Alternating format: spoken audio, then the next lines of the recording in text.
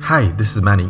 In this video we will make this perfume bottle. To begin, we will start with the cone for obvious reasons. Mask the cone like so and extract to have a top and bottom metal piece. Add a sphere and merge with the top piece after deforming it to make a nice and oval shape. We have a lot of pieces on the top. We'll break it down and block it separately.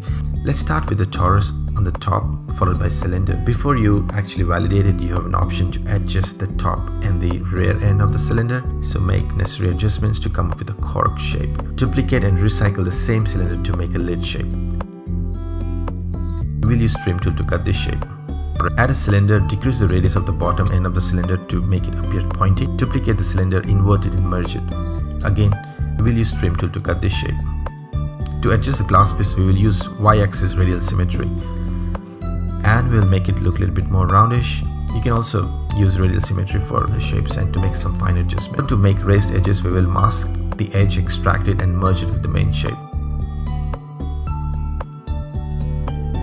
For small adjustment glass piece, I have gone back and used clay tool along with radial symmetry and I've smoothened it. This part could be tricky, but thank god we have masking tool. Paint silhouette of the shape on the cube using mask and then by using trim tool you can get rid of the rest. After voxelating and smoothing the edges, you can adjust thickness of the shape by using transform tool. To create the raised surface we will further use masking and with the help of transform tool you can decrease the rest of unmasked area.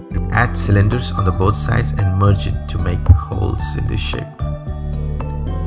Well two more torus for this. You can use radial symmetry again for any pattern you want to use on the glass piece. Create holes in the bottom shape just like how we did on the top one.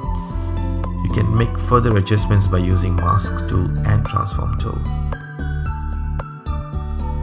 to make liquid we will duplicate the centerpiece and subtract it from the main shape so now you have a hollow glass piece actually when you duplicate make two copies so another one you can use it for liquid while the first one you can use it to make the glass piece hollow. Level or quantity of liquid is your choice. Either you can keep it as it is or you can trim it to the half. That's what I've done in my model. I further added torus for the handles.